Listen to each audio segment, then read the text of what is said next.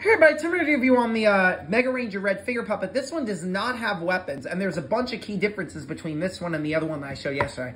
The biggest difference I see is this does have the symbols. The one yesterday doesn't have the symbols, and also this is wider than the other one is. The other one's more narrow. This one, at least I can fit it on my finger, it doesn't hurt.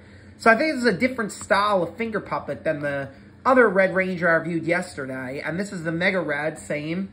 Um, he looks nice. His visor's in pretty good shape. Um, He's got like his, his symbol up here.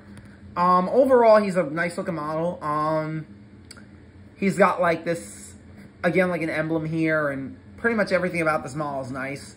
Um, it looks good. Uh, it says Bandai 1996 on the back, so I believe it was a 1996 release.